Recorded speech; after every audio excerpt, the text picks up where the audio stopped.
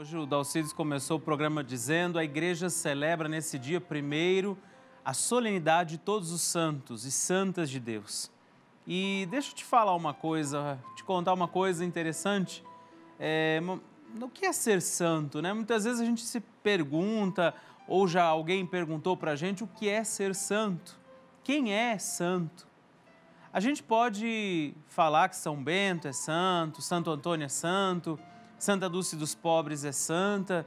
Sim, isso é, é verdade, né? A gente está certo em dizer isso. Eles são santos. Mas eu quero chamar a sua atenção, a nossa atenção, para dizer: gente, ser santo não é uma missão só deles.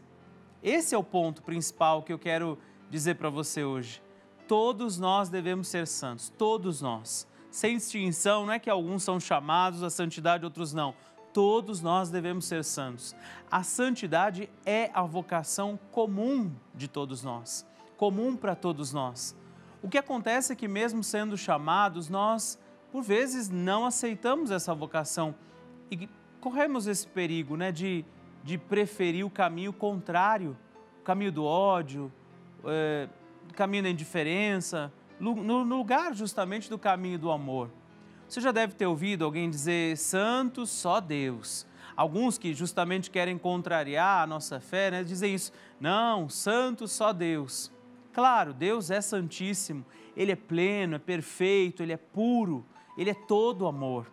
Mas o que Deus nos pede, e aí é que essas pessoas que às vezes dizem, não, nós não seremos santos porque Deus, só, só Deus é santo, elas não leram essa parte que eu quero chamar a sua atenção da palavra de Deus.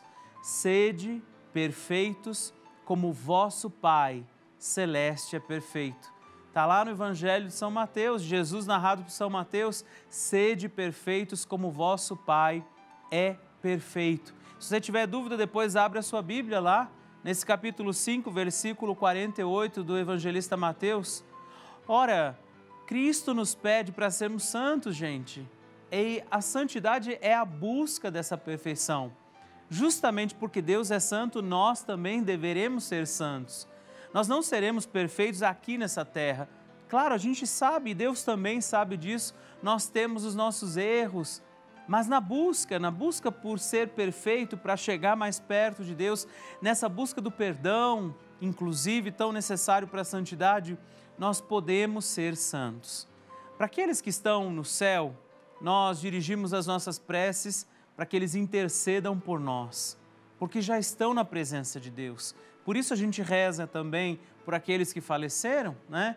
A igreja acredita que os santos são modelos de fé, modelos de esperança, modelos para nós, inclusive, de caridade.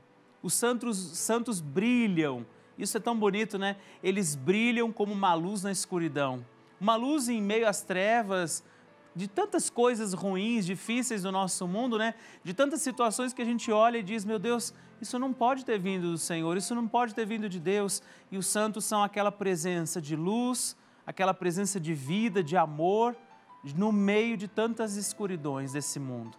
Por isso, não é só alguém mais fazendo algum gesto, mas é, é o próprio Cristo que os ilumina. Eles são merecedores pela bondade de Deus de serem contemplados com essa luz.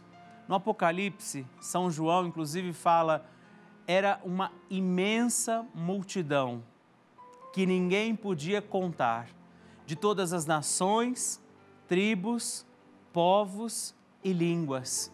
Justamente uma grande multidão, exatamente como essa multidão que você vê aí agora, ninguém podia contar, eles vinham de todas as partes, nações, tribos, povos e línguas para dizer a nós que todos, de todas as partes, lugares, nações, cores, raças, todos somos chamados a uma vida de santidade.